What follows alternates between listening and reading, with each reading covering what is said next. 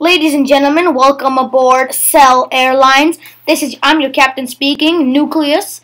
I will be controlling the plane today, just like the nucleus controls the cell. Along with my co-pilot Nucleolus, we'll be flying you directly to the mitochondria. Thank you and have a pleasant flight. This plane is powered by the engines, which are the mitochondria of the plane. The mitochondria powers the cell which lets it function as does the airplane engine. The engines get their fuel from the fuel tank. The fuel tank changes fuel to energy, just like how ribosomes change RNA into protein. I'd like to introduce you to the air hostess and air hostesses which will be serving you on this flight. They will deliver the food and drinks to you, the passengers, like how the Golgi apparatus and the endoplasmic reticulum package and delivers the proteins to the passengers.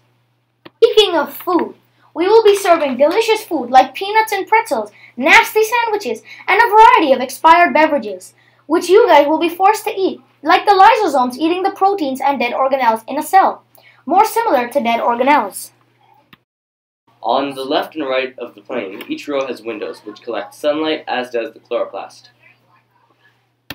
Anyway, if you look above, there will be overhead compartments to store your luggage and bags, which you can take out if you need them kind of like how the vacuole stores proteins until they are needed by the cell. If you have to get up and go anywhere, like use our disgusting bathrooms with no toilet paper, or talk to one of our arrogant air hostesses, please walk on the aisle directed by lights.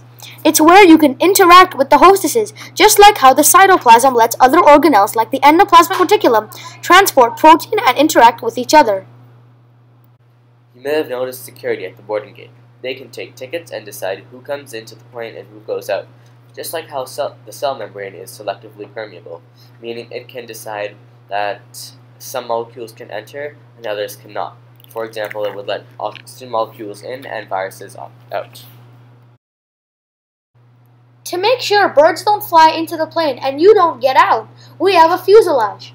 This is similar to the cell wall in a cell. Make sure the cytoplasm and organelles don't spill out. Both cells and airplanes have to protect themselves from the threats outside their borders, whether it be weather, birds, or viruses. Keeping the shape of the plane is the inner frame.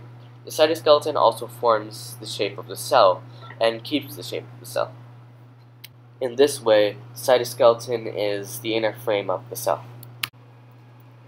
You know, now that I think about it, airplanes are very similar to plant cells. Who would have thought? Yeah, they are. Hey, if you're here, who's been flying the plane?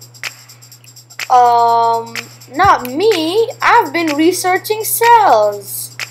Um, I've been doing microscope experiments. Wait, then. Ah!